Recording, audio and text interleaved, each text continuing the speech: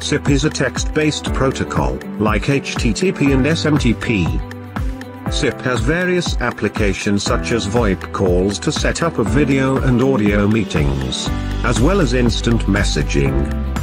SIP is a communications protocol used for signaling to control multimedia communication sessions and it can be either UDP or TCP.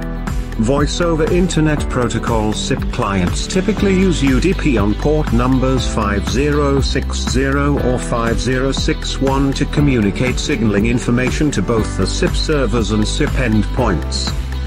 Let us see the basic signal flow when a call is initiated.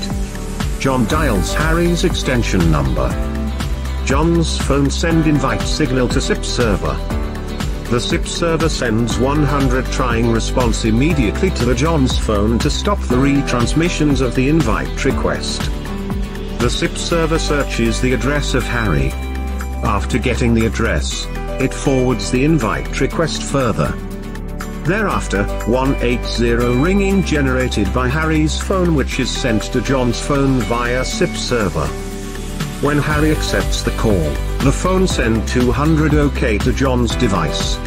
Now acknowledge is sent to Harry's device from John's device and the session gets established and RTP packets start flowing from both ends.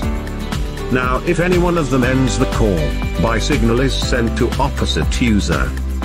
Let's say Harry ends the call, hence BYE signal will be initiated and sent to John's phone.